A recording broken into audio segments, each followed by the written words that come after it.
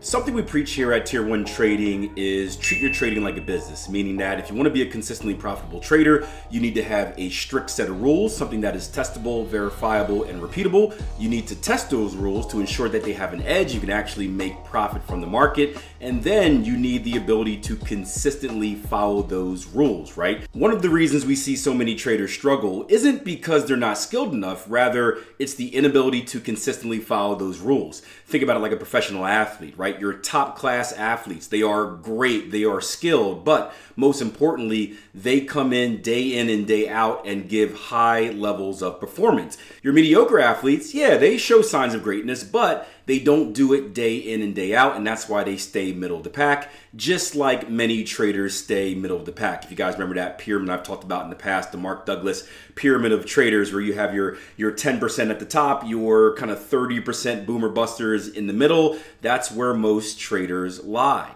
So in today's video, I want to share with you a short lesson that we did in my live trading room today where we were analyzing a chart pattern, one that could have multiple rules for entry. And we spoke about how, hey, if you're a trader that hasn't defined what way you want to approach this classic pattern, you can give yourself the ability to do whatever you want, which sounds like a great thing, but it's also something that can be very destructive because, well, there's no consistency if you're bouncing around each time.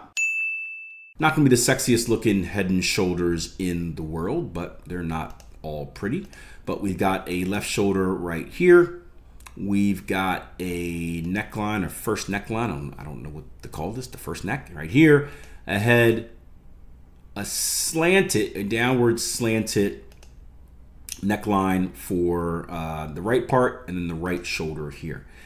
And we called it the Cody special um, because Cody has a special way of trading this aggressively, right? Typically, we're looking for validation in the pattern um, with the violation of either of the neckline, whether it's a slanted neckline like that, which is going to make life very, very hard for you if you're someone that's using a trend line as your neckline, um, or if you're using a horizontal neckline, it's going to be right here.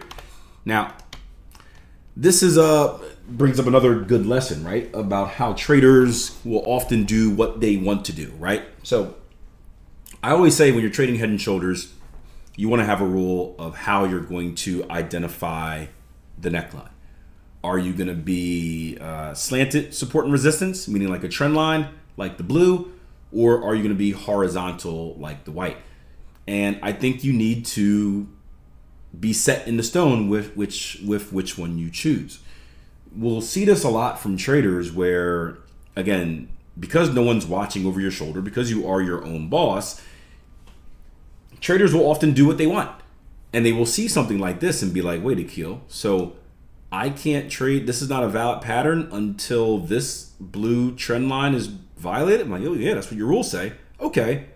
Well, this time I'm just going to use the white one. Should we be doing that, guys? Should we be bouncing back and forth based off what we want to do? No, right? We need to stick to our rules. Understand the pros and cons of your rules before you ever get into it, but you can't just do whatever you want. You have rules for a reason. They are ultimately to keep you out of trouble, but sometimes they're also going to keep you out of trades. So it's, you know, you just deal with it. But you can't just give yourself that much freedom because then that's going to, there's going to be no consistency in your trading. And like we always talk about, consistent analysis plus consistent execution equals consistent results. Hope you enjoyed the video. Any questions or comments, leave it below or any topics you want me to cover, leave that below as well. Make sure you check out the Trading Coach podcast. Got some really cool subjects coming out. One talking about negative risk reward, another one talking about the best book on technical analysis. And also the good news, remember that November workshop I've been telling you about, right? Well, it was sold out, but since we've been getting um, harassed. I don't know if that's the right word. Uh, we decided to open up more spots and allow more people to join. We're, we're still going to cap it at a certain amount, but we're going to get a little bit more in just because of the demand. So head over to www.tier1trading.com. I'll put a link underneath this video as well. Sign up and reserve your seat now, or else you're going to be left outside.